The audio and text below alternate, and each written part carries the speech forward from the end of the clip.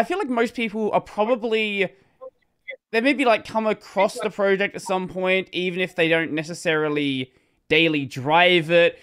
But for anyone who maybe has no idea what the project actually is, can you give sort of a brief overview of it, and then we can get sort of more into why it exists and sort of the, the, the reason why someone might want to use it.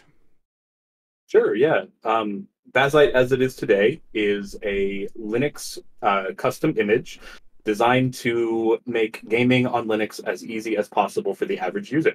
Mm-hmm. Um, and that that's for all hardware, whether it's a handheld or a home theater PC. Mm-hmm. You know, if it's something you can game on, Bazzite very likely runs on it. Mm-hmm. How long has Bazzite been around for now? Uh, just over two years. Okay, I thought it'd been longer. Hmm. Yeah. Maybe up. No, it's it's been a wild ride. That's for sure.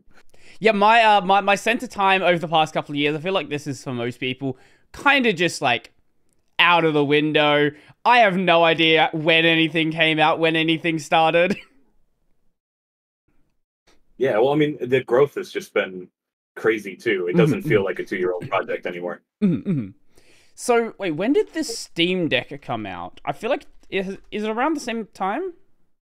Uh, yeah, it was out for a fair bit before we started. Mm-hmm. Um, that's kind of the origin story, actually. Mm-hmm. Yeah, because uh, this is a, a th- yeah. So it's February 2022. this is something that often comes up whenever discussions of Bazzite come up. You'll hear people talk, especially those who are maybe not necessarily Linux users themselves. They'll see SteamOS as this sort of holy grail, this thing in the distance. When SteamOS is generally available, then gaming on Linux is going to be good.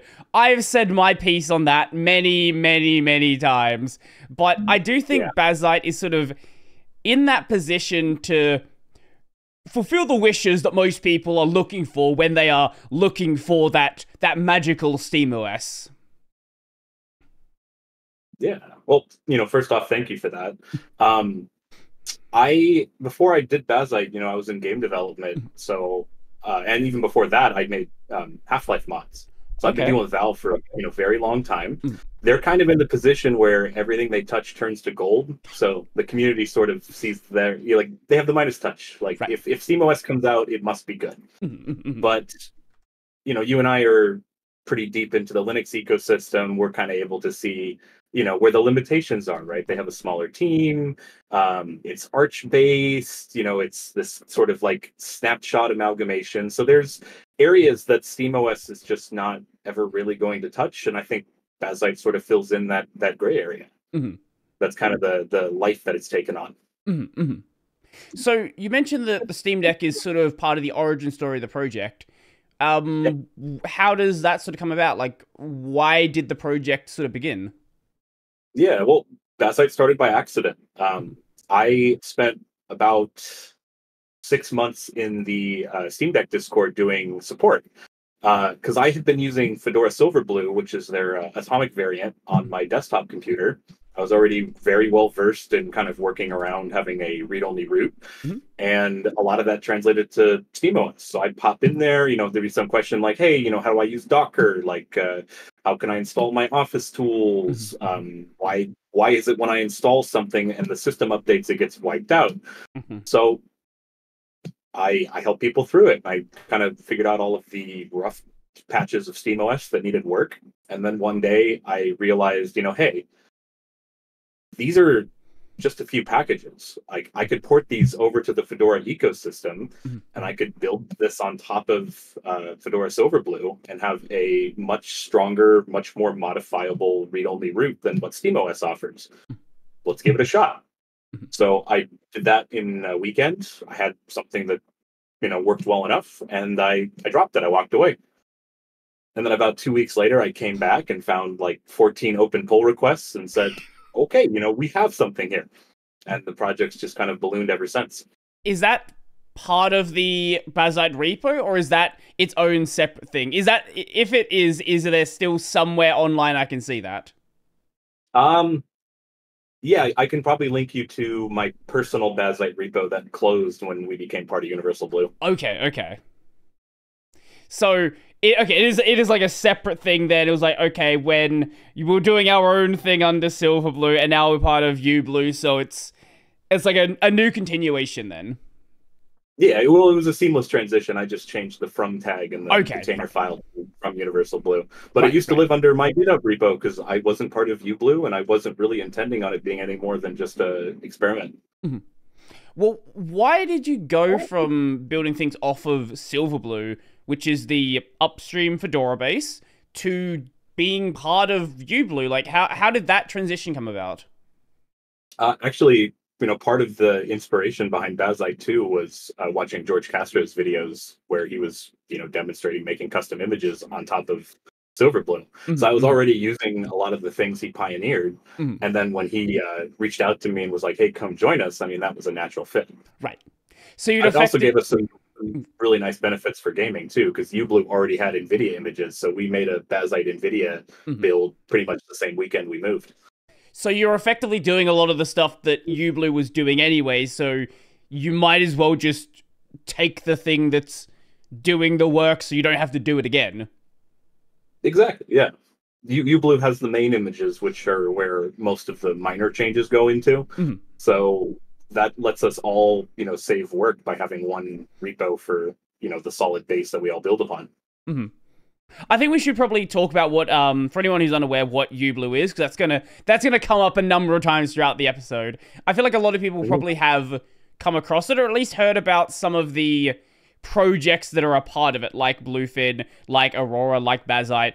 Um, but for anyone who may not be aware of what this sort of collection of projects is and how it all fits together, I, I think just a, a brief explanation there is probably going to help as well. Yeah.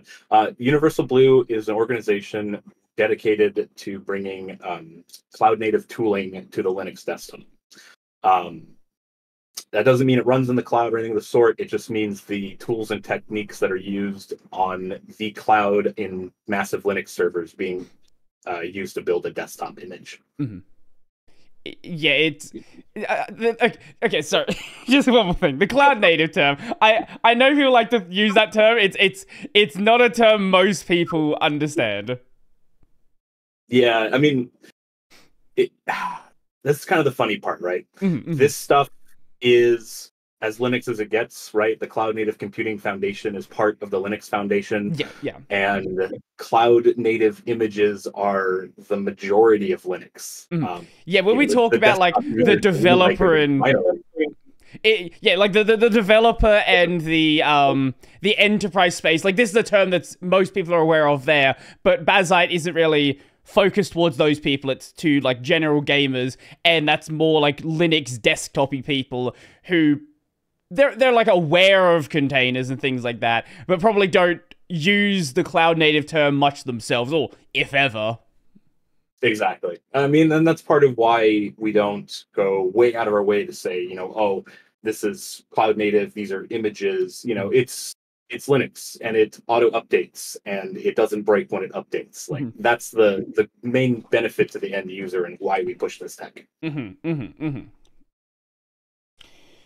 Yeah, the um the whole image thing's always a interesting conversation. Why do you feel like it is beneficial to have an image-based system? Because most people out there are still running these traditional desktops, whether it be something Arch, whether it be regular Fedora, or you know anything else out there. But what is it that makes an image-based system make more sense, at least in your mind? Uh, for me, it's stability and testing. Mhm. Um, when I update an image-based system, I'm not updating individual packages. I'm Mhm. just grabbing the absolute latest and greatest version of that image and rolling it on top of my uh, existing install. Mhm. So that can be tested ahead of time, and you know is uh, that is a good known state where anyone who is trying to support you has the exact same files on their system bit for bit. And then there's all the other benefits of an image based system like rollbacks, uh, even arbitrary to a given date, Mm. or by tag. Like uh, if you are an NVIDIA user and you decide the previous NVIDIA driver is a better fit for you, Mm. we tag our images by the driver in the image. So you can, with the one command, roll back to the last build of the previous driver, whatever that may be. Mhm. So those sorts of benefits, I think, make for a you know much more uh, compelling desktop experience where you're not really fighting package management problems. Mhm. And you know, if you need to, if if there's some package you need not in the image, that's where containers like DistroBox or you know features like Brew or any number of other systems we have come into play.